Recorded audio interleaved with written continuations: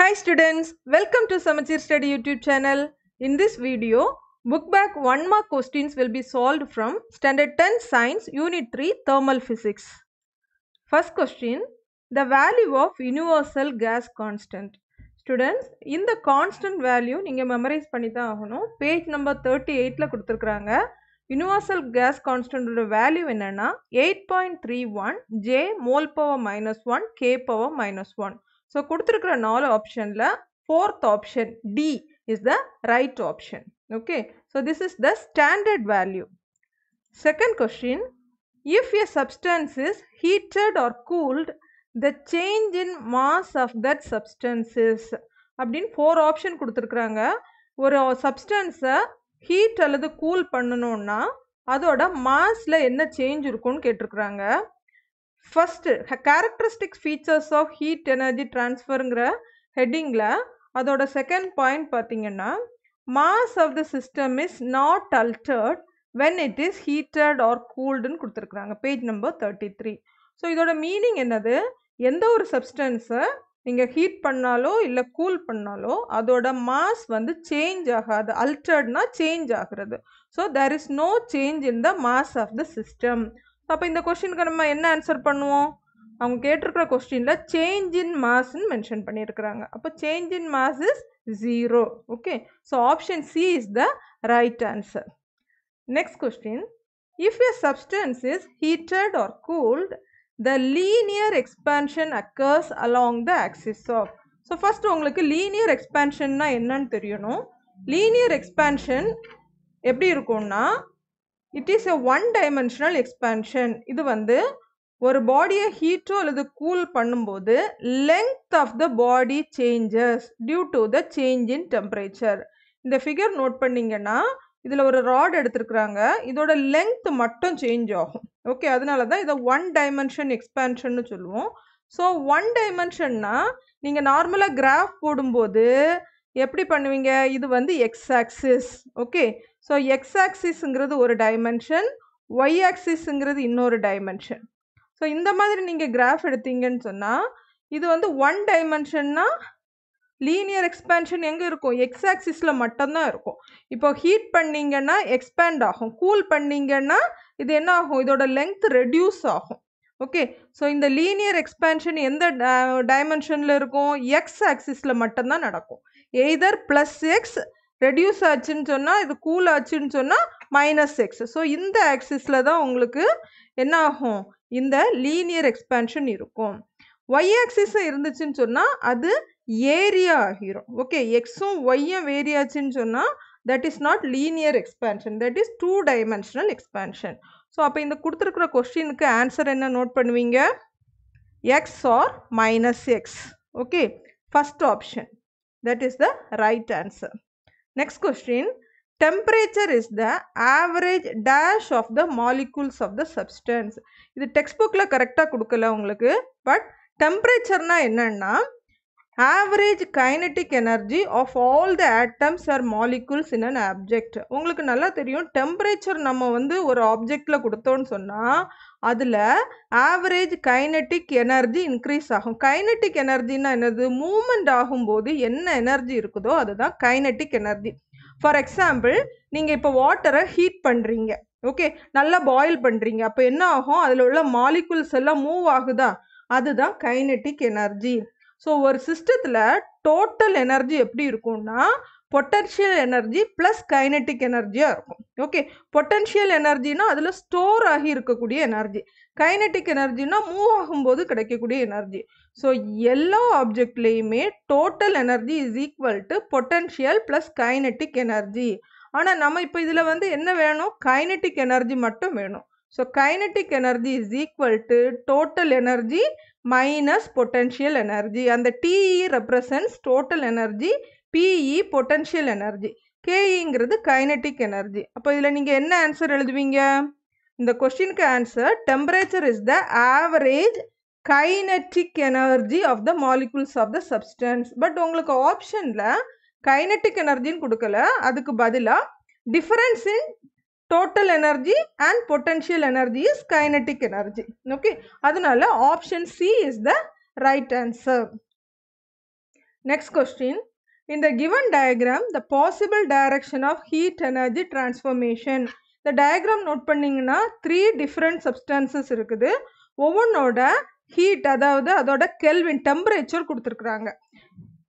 இப்போ இதில் என்ன கான்செப்ட்னா heat always flows from a system at higher temperature to a system at lower temperature heat வந்து higher டெம்பரேச்சர்லேருந்து lower டெம்பரேச்சருக்கு தான் ஆல்வேஸ் ஃப்ளோ ஆகும் அப்படிங்கிறது கான்செப்ட் ஸோ இதை பேஸ் பண்ணிங்கன்னா இந்த த்ரீ சப்ஸ்டன்ஸில் ஹையஸ்ட் டெம்பரேச்சர் எதில் இருக்குன்னு நோட் பண்ணுங்கள் சி ஹேவிங் ஹையஸ்ட் டெம்பரேச்சர்ஸ் அதனால சியை நோட் பண்ணியாச்சு.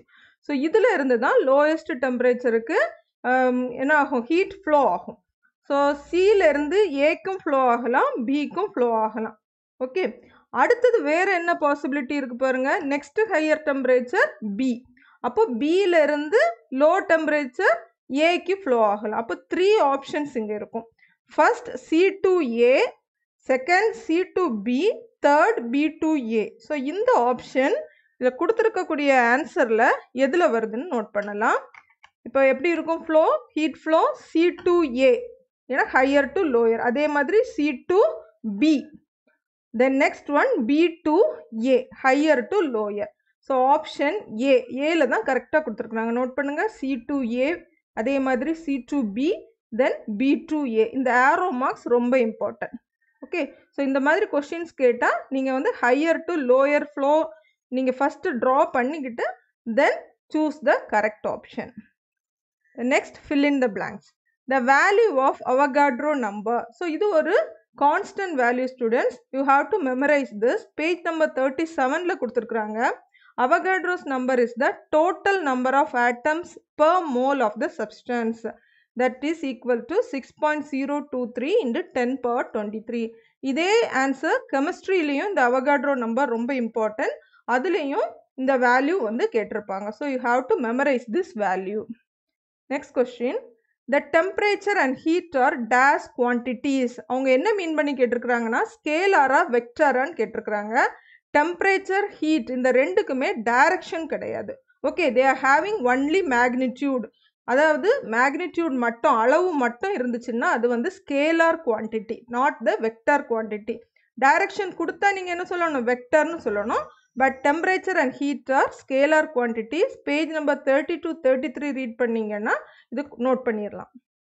Next question one calorie is the amount of heat energy required to raise the temperature of dash of water through dash இது page number thirty ஃபோரில் கேலரியோட definition கொடுத்துருக்குறாங்க. இந்த definition அப்படியே note பண்ணுங்கள் one calorie is defined as the amount of heat energy required to raise the temperature of one gram of water through one degree centigrade அதாவது ஒரு gram அளவுள்ள வாட்டரை ஒரு டிகிரி சென்டிகிரேட் டெம்பரேச்சர் ரைஸ் பண்ணுறதுக்கு எவ்வளவு heat energy தேவைப்படுதோ அதை தான் ஒன் கேலரின்னு சொல்கிறோம் ஸோ இதில் என்ன ஃபில் பண்ண போகிறோம் one gram of water through one degree centigrade so இந்த டெஃபினிஷன் படித்தா நீங்கள் இதை எழுதிடலாம் next question according to Boyle's law the shape of the graph between pressure and reciprocal of volume உங்களுக்கு டெக்ஸ்ட் புக்கில் பாயில்ஸ் லா கொடுத்துருக்குறாங்க அதை பேஸ் பண்ணி கிராஃப் எப்படி இருக்கும்னு நம்ம நோட் பண்ண போகிறோம்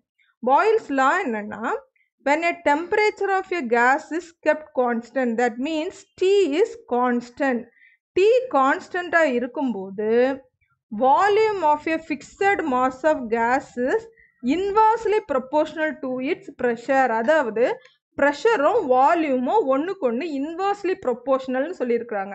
அதை மேத்தமெட்டிக்கலாக எழுதும்போது எப்படி எழுதுவோம்? P is proportional to one by V one by வினா மீனிங் என்னது? இன்வர்ஸ்லி ப்ரொப்போர்ஷனல் இப்போ நல்லா நோட் பண்ணுங்க.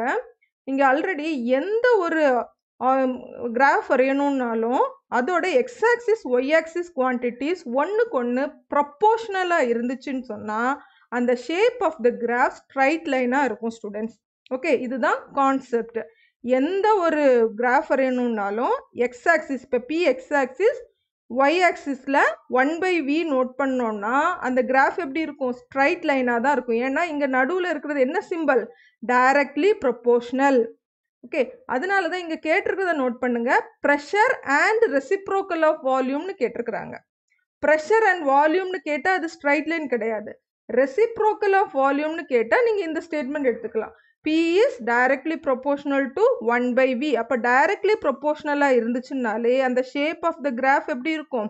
ஸ்ட்ரைட் லைனாக தான் இருக்கும்.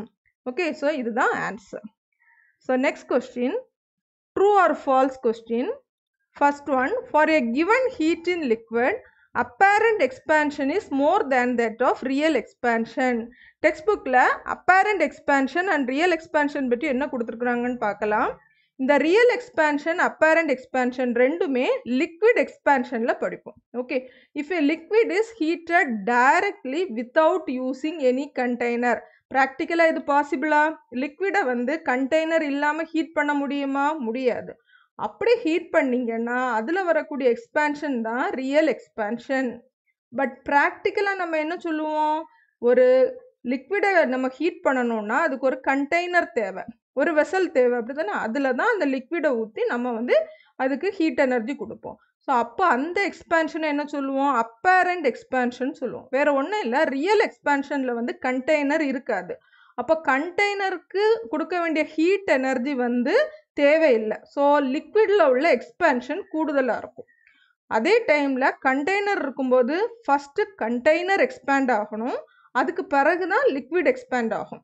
ஸோ இந்த அப்பேரண்ட் எக்ஸ்பேன்ஷன் எப்போவுமே லெஸ்ஸாக இருக்கும். ஓகே ஸோ இதுதான் இதோட கான்செப்ட் இப்போ இந்த கான்செப்டை அண்டர்ஸ்டாண்ட் பண்ணிவிட்டு இப்போ நோட் பண்ணுங்கள் அப்பேரண்ட் எக்ஸ்பேன்ஷன் என்ன கொடுத்துருக்குறாங்க? மோர்னு கொடுத்துருக்குறாங்க. But it is false real டேர்ம்ஸில் real expansion is always more than the apparent expansion so இதை வந்து நீங்கள் ஃபால்ஸுங்கிறதுனால ரைட் ஸ்டேட்மெண்ட் கொடுத்துருக்குறோம். Next question thermal energy always flows from a system of higher to a system at lower temperature. Already discuss பண்ணியிருக்கிறோம். எப்போவுமே higher to lower temperature தான் thermal energy flow ஆகும். So this is true statement next question according to சார்ல்ஸ்லாம் at constant pressure temperature is inversely proportional to volume so இதுக்கு answer பண்ணணும்னா உங்களுக்கு Charles law என்னன்னு தெரியணும். This law according to this law when the pressure of the gas is kept constant இங்கே எது கான்ஸ்டண்ட்டாக இருக்குது? Pressure pressure கான்ஸ்டண்ட்டாக இருக்கும்போது volume is directly proportional to temperature of the gas so volume is proportional to temperature அப்படிங்கிறது தான் Charles லா கொடுத்துருக்குற statement எப்படி கொடுத்துருக்குறாங்க? இட் இஸ் இன்வர்ஸ்லி ப்ரொப்போஷ்னல்னு கொடுத்துருக்குறாங்க. அதாவது டெம்பரேச்சரும் வால்யூமும் ஒன்றுக்கு ஒன்று இன்வர்ஸ்லி ப்ரொப்போஷ்னல்னு கொடுத்துருக்குறாங்க. அப்போது கொடுத்துருக்குற ஸ்டேட்மெண்ட் ஃபால்ஸ் ஸ்டேட்மெண்ட் அப்போ என்ன ஆன்சர் எழுதணும்? According to Charles law when the pressure of the gas is kept constant volume of gas is directly proportional to temperature of gas so இந்த பர்டிகுலர் சாப்டரில் இந்த லாஸ் எல்லாம் நீங்கள் கண்டிப்பாக மெமரைஸ் பண்ணணும். அதோட டேர்ம்ஸ் எல்லாம் தெரிஞ்சிருக்கணும். அப்போ தான் இந்த ஒன் வேர்ட்ஸ்க்கு ஆன்சர் நீங்கள் கரெக்டாக எழுத முடியும். Next question match the items இதில் நல்லா நோட் பண்ணிங்கன்னா காலம் ஒன்ல கொடுத்துருக்கிறது three different types of expansions கொடுத்துருக்குறாங்க ஸ்டூடெண்ட்ஸ் இது சாலிட் எக்ஸ்பேன்ஷனில் உங்களுக்கு வரும். அதாவது எந்த ஒரு ஆப்ஜெக்ட்லேயும் சாலிடாக இருக்கக்கூடிய ஆப்ஜெக்டில் ஹீட் எனர்ஜி கொடுக்கும்போது த்ரீ டைப்ஸ் ஆஃப் எக்ஸ்பேன்ஷன்ஸ் இருக்கும். ஓகே ஸோ லீனியர் எக்ஸ்பேன்ஷன்னா லெங்க்த் மட்டும் சேஞ்ச் ஆகும். இதை ஆல்ரெடி ஒரு ஒன் மார்க்கில் நம்ம டிஸ்கஸ் பண்ணோம். சூப்பர்ஃபிஷியல் எக்ஸ்பேன்ஷன்னா ஏரியா சேஞ்ச் ஆகும். ஓகே இந்த க்ரீன் கலரில் மார்க் பண்ணியிருக்கேன் சேஞ்ச் இன் ஏரியா கியூபிக்கல் எக்ஸ்பேன்ஷன்னா அந்த நேம் பார்த்த உடனே தெரியும். சேஞ்ச் இன் வால்யூம் இதை வந்து நீங்கள் கன்ஃபியூஸ் பண்ணாமல் கரெக்டாக மார்க் பண்ணிடலாம். லீனியர்னா change in length superficial change in area cubical expansion change in volume so again அடுத்து நெக்ஸ்ட் பார்த்தீங்கன்னா ஹீட் டிரான்ஸ்ஃபர்மேஷன் ஹீட் டிரான்ஸ்ஃபர்மேஷன் எப்போவுமே hot body to cold body தான் இருக்கும். So that is option B லாஸ்ட்டாக Boltzmann constant கேட்டிருக்கிறாங்க. இதில் இருக்கிறதுலேயே ஒரே ஒரு கான்ஸ்டன்ட் தான் இருக்குது. But you have to memorize this value Boltzmann constant is one point three eight one into ten power minus twenty three JK power minus one இவ்வளோ தான் students one mark questions discuss பண்ணியிருக்கிறோம் if you like this video please subscribe and share it your friends thank you